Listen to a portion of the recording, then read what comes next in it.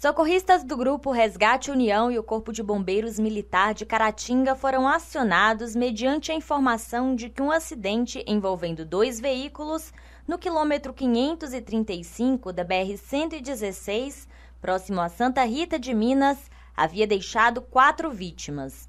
Chegando lá, as equipes encontraram somente este carro, de rodas para cima. Não havia ninguém no local.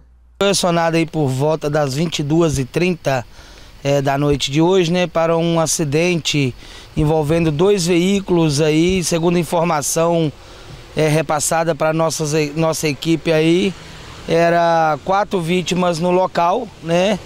É, deslocamos aí com nossa viatura, nossa equipe se deslocou com nossa viatura e o apoio de uma ambulância do município de Santa Bárbara do Leste e também foi deslocado para o local aí também uma equipe do bombeiro militar para estar atendendo aqui, mas chegando aqui no local é, nos deparamos apenas com um veículo capotado na, é, na pista, né? onde não havia nenhuma vítima no local, né? Aí a gente resta aí a dúvida, essas vítimas foi é, levada por terceiros ou não havia vítimas, as pessoas passou aí somente é, visualizou o acidente, chamou o bombeiro, né? É, fica aí a dúvida pra gente. Segundo Arenaldo, as equipes disponibilizaram o efetivo considerável para atender a ocorrência. Desloca um efetivo tão grande aí que foi é, aí duas viaturas, né?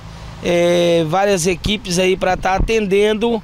Chega aqui, não é um acidente realmente. É um acidente, mas sem vítimas. Né? Aí a gente salienta aí também, aproveitando a oportunidade, para deixar aí para as pessoas que, é, os telespectadores que estiver vendo, é, observar é, muito bem aí para estar tá acionando, porque a gente perde a locomoção aí, muitas das vezes que pode estar atendendo um outro acidente grave aí